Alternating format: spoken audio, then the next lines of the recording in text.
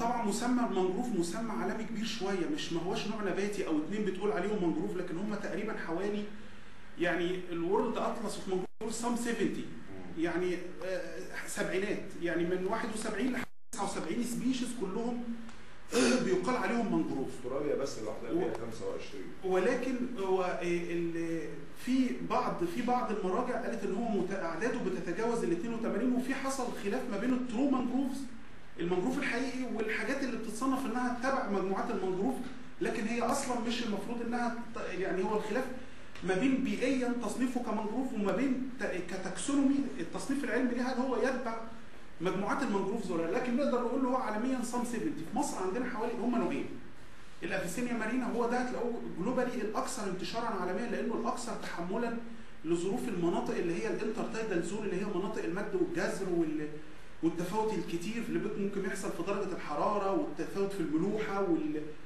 وتحمله لأنه ال- ال- ال- المجموع الجذري بتاعه يتغمر بالمية وبعدين يرجع يتكشف يعني محطوط تحت stress استثنائي غير النباتات حتى الملحية العادية.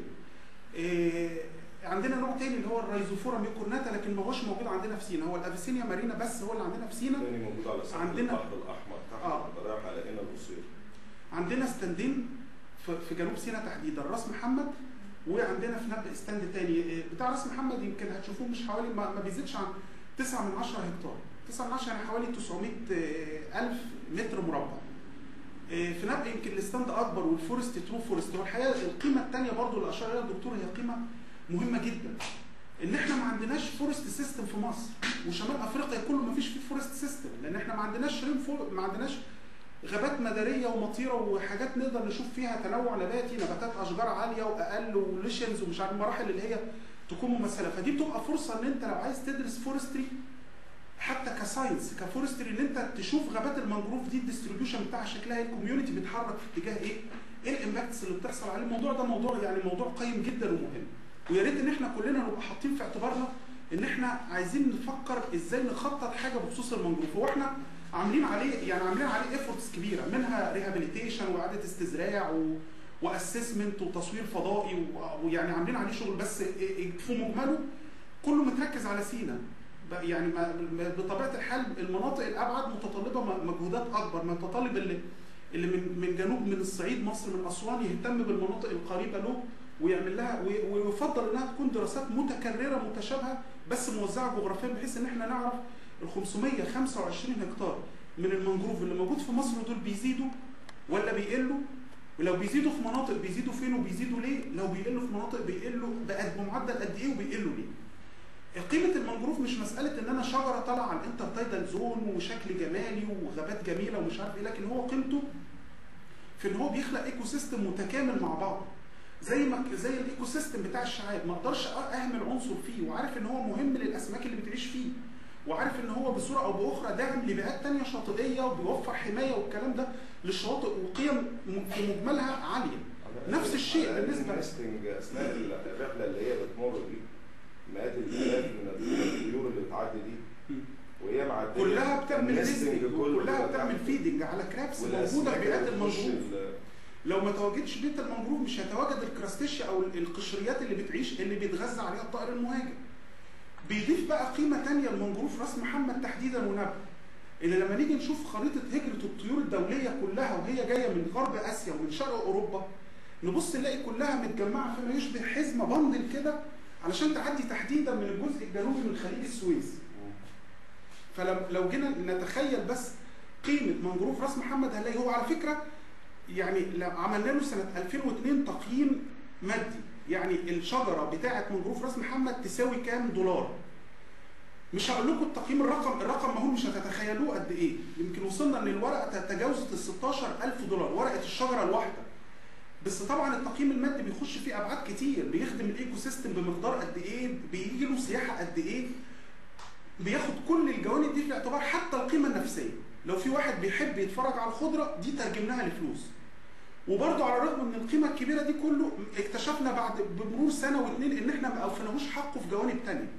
لذلك هو stand المنجروف بتاع راس محمد. يمكن أنا مش عارف عالميا في مناطق قال لكن أنا عن نفسي بعتقد إن هو أغلى شجر منجروف في العالم هو اللي موجود في راس محمد. لأنه قيمة بيئية استثنائية مش موجودة في مناطق تانية كتيرة من العالم.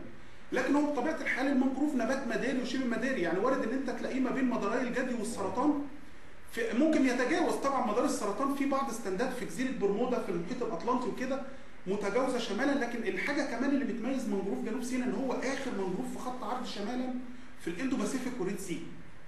يعني في البحر الأحمر وال وال وال وال وغرب ال- ال- ال- ال- المحيط الهادي مش هنلاقي شمالا منه. هو كان في stand في قطر واندثر من حوالي أكتر من 150 سنة أو 140 سنة اللي باقي له بس بقايا جذور stumps كده في الأرض اكتشفوها. هو ده اللي كان شمالا من منجروف المقاطعة. لما هتروحوا هناك بكرة النهارده بإذن الله هتوصلوا المنجروف المقاطعة. ده آخر حاجة في المحمية. هتشوفوا شجرة واحدة individual واقفة بعيدة كده. الشجرة دي لازم تعرفوا تماما إنها آخر شجرة منجروف موجودة بالنسبة لخط عرض شمالا في ال Indo-Pacific وال Red Sea. وده برضه بيضيف قيمة ثانية معنى إن أنت يكون عندك منجروف موجود في بيئة نسبيا تعتبر باردة بالنسبة له إيه إيه مستوى الرطوبة في في الجو مش م... يعتبر الجو حواليه. جو ب- جاف مش مناسب قوي لوجوده بعكس لو رحنا مناطق تانية زي السودان. وش- و... وجيبوتي نلاقي الم... المناخ فعلا supporting للمنجروف. لذلك ال Avicennia marina ممكن توصل هناك ل 6 و7 متر. إحنا عندنا آه في individuals وصلت ل 8 و2 من 10 والكلام ده بس سبع أو ثمان شجرات مش أكتر في وسط ال forest من في... من جوه. لكن متوسطه العالمي ما بين 4.5 ل 5 متر. ال Avicennia المفروض إنه ما بيزيدش عن كده. ممكن ال Rhizophora توصل ل 23 و24 متر. ال Rhizophora mucronata تحديدا. اللي لما هتشوفوا ديت ده قلنا بيضيف قيمة إضافية إن أنت يكون عندك species موجود في على ال surviving على ال extreme يعني عايش على الحد الأقصى اللي المفروض إن هي مش بيئته. فده بيضيف قيمة جينية إن أنت لو أخدت منه بذور وأكثرتها في بيئة أكثر ملائمة تناسبه يعني لو نزلت ثلاث أو أربع درجات جنوبا يعني حوالي مثلا 700 م- 700 كيلو أو 800 كيلو معنى كده إن ده هي- هيبقى معدلات إنباته عالية جدا لأن بما إنه طلع في الإكستريم يبقى لو في المكان الأكثر ملائمة له هيطلع إيه، أحسن. طبعا تداخله مع أنظمة بيئية معقدة دراسات كتيرة إحنا عملناها وناس تانية أجانب عملوها أثبتوا فعلا إن ال status بتاعة المنجروف كلما كانت جيدة كلما كانت الشعاب ال fringing أو الشاطئية المواجهة له كانت أحسن. والمناطق اللي بيحصل فيها قطع أو deterioration لحالة المنجروف بيقابلها تدهور في حالة الشعاب والبيئات البحرية بمجملها. وإن كان تعقد العلاقات البحرية لحد دلوقتي ما حدش قادر يفسر كلها بمجملها. يعني هم بس أنت بتعمل statistics. يعني إحنا خدنا حوالي 59 نقطة في نبق طبعا لأن عندي ال stand بتاع المنجروف ممتد على مدار 13 كيلو متقطع. آه بس ممتد كتير. فعلا ألاقي ال status بتاعت المنجروف بيقابلها حالة شعاب جيدة جدا في البحر. لو أقل بلاقيها أقل. طبعا إحنا لما نتعامل على على المستوى الإحصائي العملية مش absolute لكن لما نتعامل على المستوى الإحصائي ونلاقي إن في فعلا ارتباط وثيق يبقى أكيد في حاجة فعلا بتربط النوعين طبعا في حاجات معروفة. قدرته على ترسيب العوالق البحرية ومنع نحر الشواطئ و فبالتالي بيزود النقاء بتاع المية يبقى الضوء أحسن يوصل للشعاب أكتر تعمل الطحالب اللي عايشة معاه photosynthesis أكتر فتكون كربوهيدرات أكتر الشعبه تنمو يعني في حاجات ظاهرة ومسجلة ومعروفة لكن العملية مش absolute لأن هو ممكن يبقى موجود في منطقة بس في منطقة فيها عكارة قصاده المنجروف ورغم كده الشعاب برضه كويسة والمنجروف كويس. هي دي الفكرة فهو علاقات المنجروف بالشعاب أو بالبيئات البحرية علاقة وثيقة جدا. الأسماك حتة إن هو يوفر مكان لوضع البيض بتاع الأسماك وإنها توصل لأحجام معينة وأسماك اقتصادية. واكتشفنا إن في أسم- اسماك اقتصادية جدا بعيدة جدا عن المنجروف 40 و50 كيلو. ممكن تكون ال nursery ground بتاعتها كانت المنجروف الصغير بتاعك اللي هي القناة اللي طولها 1000 و 1150 متر ديت البسيطة. هي كانت ال nursery ground بتاعت أنواع من الاسماك موجودة في حتت ثانية بعيده. فالنبات قيمته عالية جدا مش مسألة بس ان هو النباتات طالعة. طبعا غير غير القيمه الجيولوجيه اللي هو تثبيت التربة. لو لما هتروحوا نبق بكرة وانتوا ماشيين في الباص هتشوفوا على يمينكم البعض معلش بس أنا عادة الناس بتيجي راس محمد وتروح تاني يوم نبق أنتوا أول ناس هتعملوا الاثنين بكره مسافرين بكرة ده وعلى على كاترين عشان عندنا لسه program كمان بالسلامه إن شاء الله. فاحنا بن على طول يعني ضاغطين فهتشوفوا بكرة وانتوا ماشيين بالباص هتلاقوا في مناطق المدق نفسه اللي العربية ماشية عليه. بدأ البحر بيعمل فيه نحر. لو نزلتوا ودخلتوا في ال intertidal zone شوية ودققتوا هتبصوا تلاقي فيه بقايا stumps للمنجروف. م- متحللة.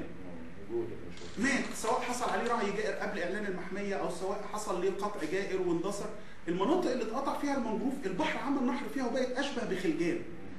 المناطق اللي المنجروف موجود فيها هتبص تلاقيها بقت العكس أشبه بألسنة برية داخلة في البحر. فده دليل دليل صريح على قيمته الجيولوجية لتثبيت الشواطئ وحمايتها من من النحر بفعل ارتفاع مياه البحر. أنا عرفت معلومة بس ما أعرفش مؤكدة ولا لأ. بس المعلومة دي أنا عرفتها من أصدقائي في الإمارات قبل ما الشيخ زايد يتوفاه الله.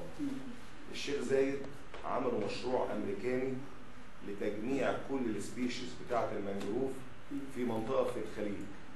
عملوا جزيرة كده في الخليج صمموها عشان يجمعوا كل. ال species من مصر. خدوا ال Rhizophora من مصر وخدوا النوع بتاعنا من مصر وعملوا له propagation هناك وموجود.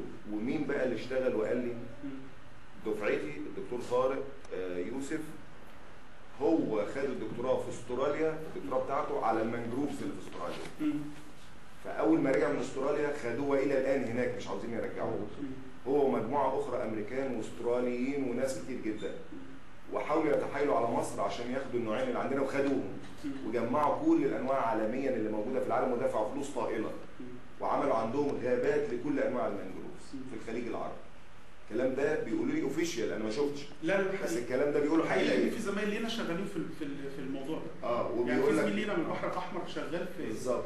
وهو كمان الحاجة كمان اللي بتميز الدول الواعيه عن الحكومات ال- ال- ال- ال- اللي هي